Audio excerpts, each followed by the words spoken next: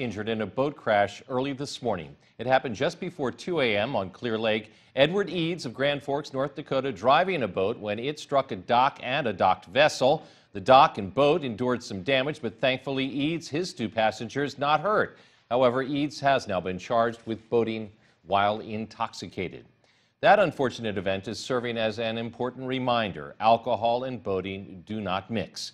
KIMT News 3's Alex Jurgens is live at Clear Lake where it all happened. Alex, what is law enforcement doing this weekend to make sure this doesn't happen again?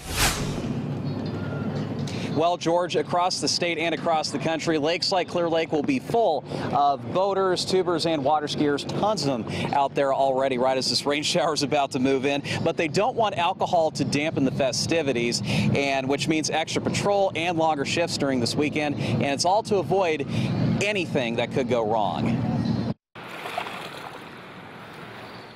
A fleet of boats will be on area lakes this weekend, but drunken boaters can end up like this.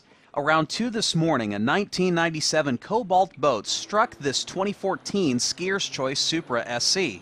It caused some damage to the boat and the dock. I heard this thud and then a motor racing just momentary. Jim Fogdahl was awake at the time of the accident and heard the man who struck the boat calling 911. And calling 911 and telling them that I was drunk, I was driving a boat drunk, and I ran into a dock. Fogdahl believes it could have been much worse. The last lift was 10 feet closer to land, and consequently, the, uh, the boat had to travel farther over the dock and in through midair before it would hit that boat. Otherwise, it would have broadsided the, the boat at the end of the lifts.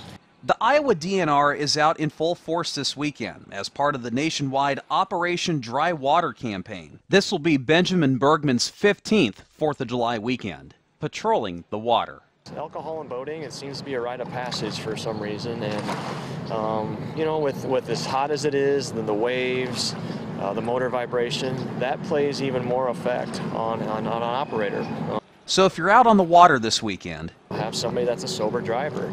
And we, we tend to see that more, but at the same token, we still have those who really like to enjoy themselves um, with alcohol and at times too much.